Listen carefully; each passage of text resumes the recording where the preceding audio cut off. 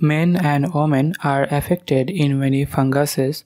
Toenail fungus is a common fungus in that funguses. When fungus grows well in your nails, your nails may discolor and may be thicker. In this video, we will discuss about some home remedies about toenail fungus. Number 1. Keep feet dry and clean. You should be smart about your footwear.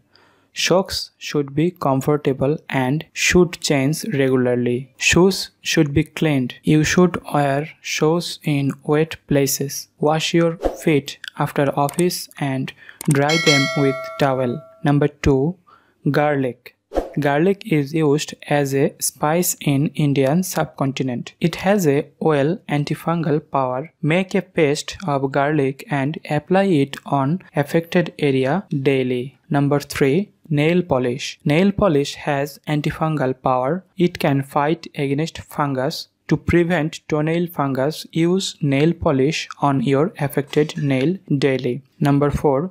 Avoid sugar. Sugar is food of funguses. If you eat sugar, funguses may be more stronger. So, to treat toenail fungus, avoid taking sugar. Number 5. Turmeric. Turmeric is used as a spice in Indian subcontinent.